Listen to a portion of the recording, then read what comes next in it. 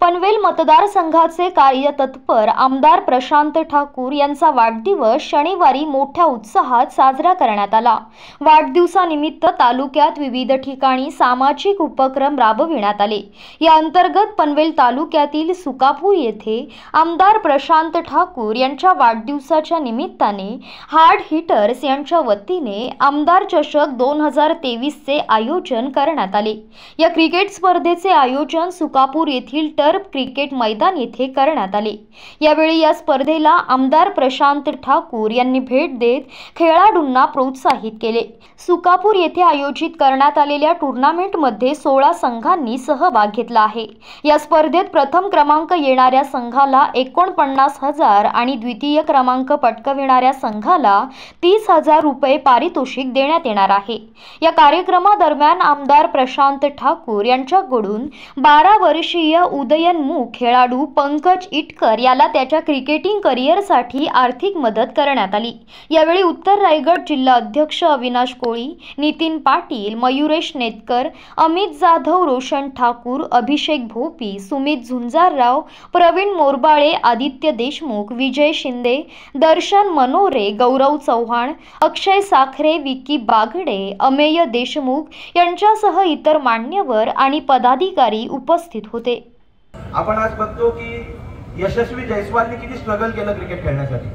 तो पाणीपुरी विकायचा. त्याच्यानंतर आपल्याला माहिती असेल की लाल सरांच्या घरी रोहित पवार राहायचा आपला. रोहित शर्मा राहायचा.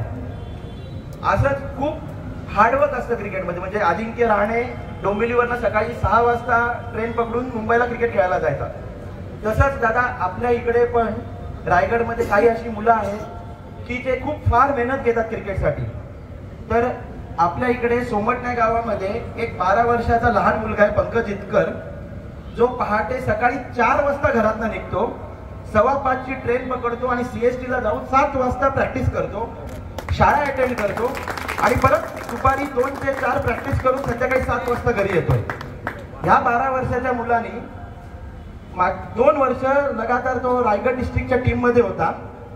आणि आता आपल्या ग्राउंडवर पनवेल प्रीमियर लीग अंडर सिक्स्टीनची टुर्नामेंट झाली. त्या अंडर सिक्स्टीनच्या टुर्नामेंटमध्ये दादा सोळा वर्षाच्या विरुद्धच्या मुलांच्या त्या अकरा वर्षाच्या मुलांनी दोन फिफ्टीज मारल्या. आणि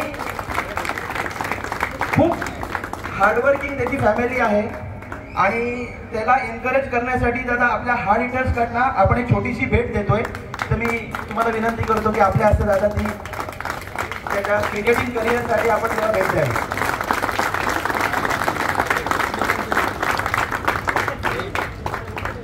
आज दरवेळेला असं आयोजन करतो.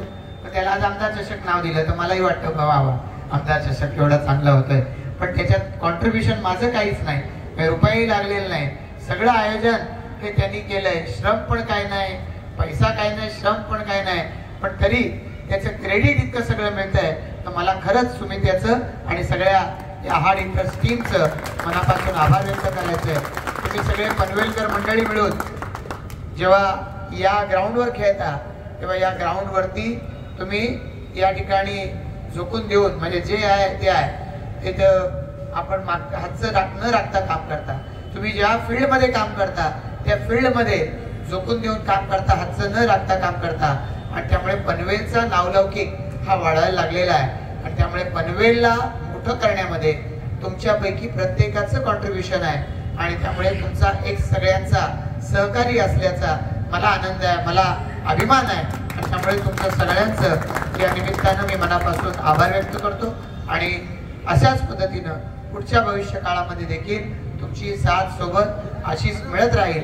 आणि त्या माध्यमातून पंकज सारख्या उदयोन्मुख अशा खेळाडूला जसं आज सुमित आणि त्याची टीम मदत करते आहे आपण सगळे पुढच्या कालावधीमध्ये त्याला आणि अशाच पद्धतीनं अस्पायरिंग क्रिकेट तुमच्या आपल्या जेव्हा तरुणपणे मी जेव्हा सहावी सातवी आठवीला होतो सुट्टी लागली की सकाळी आठ वाजता बॅट घेऊन बॉल घेऊन लोकांना घेऊन ग्राउंडवर जायचो.